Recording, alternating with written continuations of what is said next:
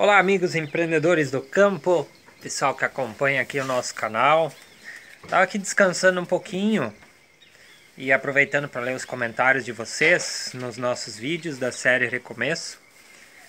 E vou pegar aqui o comentário do Daniel de Oliveira. Comentou no vídeo das terneiras e o comentário dele foi o seguinte: fazendo duas perguntas. Quantos litros de leite fornecer para as terneiras e por quanto tempo? Então vou aproveitar e comentar um pouquinho sobre isso.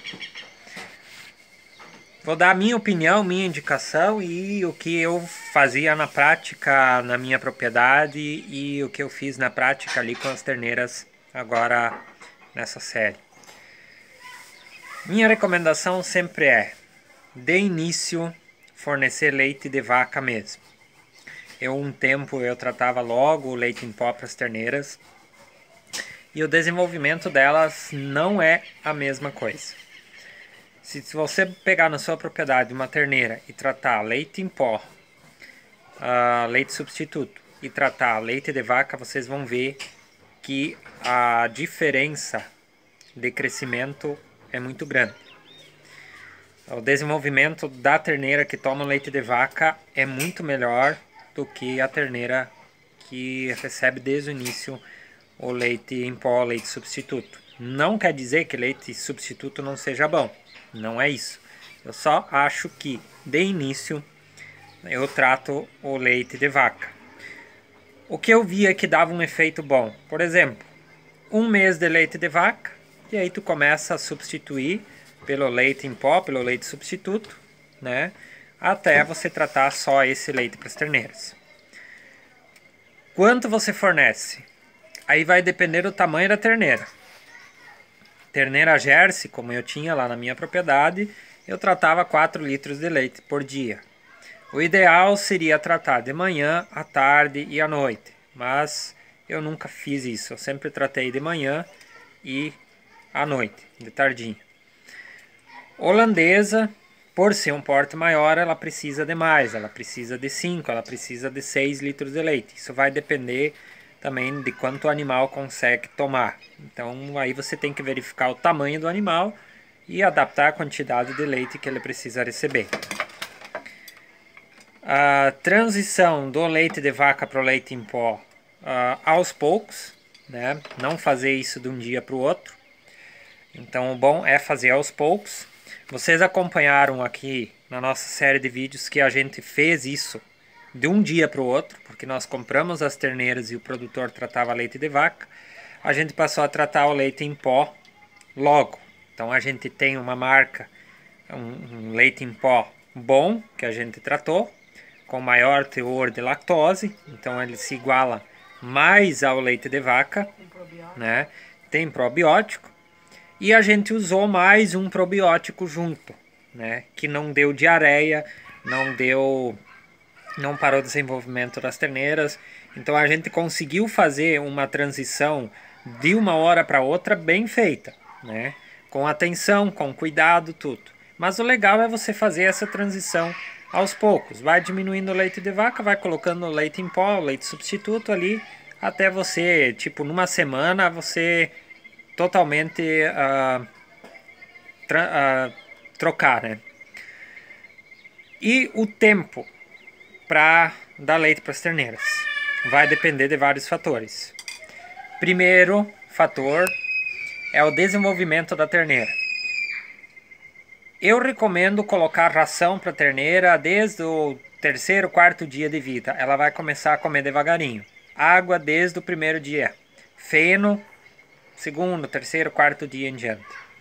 Se você vê que a terneira com dois meses e dois meses e meio, ela está comendo feno, ela está comendo ração, ração à vontade, está comendo bem, está comendo feno, você pode começar a diminuir o, a quantia de leite.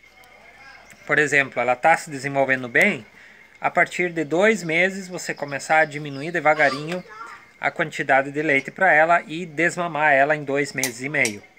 Se a terneira não está com um desenvolvimento muito bom, ela não está comendo feno, ela não está comendo ração como deveria comer, você leva até uns três meses dando leite. E aí você começa, por exemplo, tratando 5 litros por dia, dois meses, ah, com dois meses e meio eu vou desmamar. Aí você cai para 4 litros durante uns dias, cai para 3 litros, cai para 2 litros e não tirar uma tratada. Ah, eu vou dar 3 litros só de manhã e de noite eu não vou dar. Dá um litro e meio de manhã e dá um litro e meio de noite. Ela vai se acostumar a comer mais ração nesse meio tempo. Né? Você vai fazer um, um desaleitamento, um des, desaleitamento, desmame melhor dessa terneira e ela vai conseguir uh, cre continuar crescendo, ela vai conseguir ter uma adaptação boa também. E claro, nunca deixe faltar água. água desde o primeiro dia, sempre à vontade. É a melhor coisa que você faz. Do início tem que dar na chupeta um pouquinho para ir acostumando. Pode fazer. Vou entrar ali no meio também a questão de trato do leite. Do bico, chupeta, uh, mamadeira, dou no balde.